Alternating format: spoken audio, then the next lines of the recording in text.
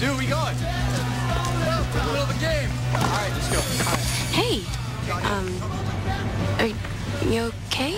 You lied to me earlier. Why? Look, Tyler, I think that you misunderstood me at the party.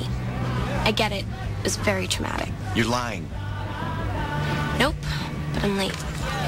Hey,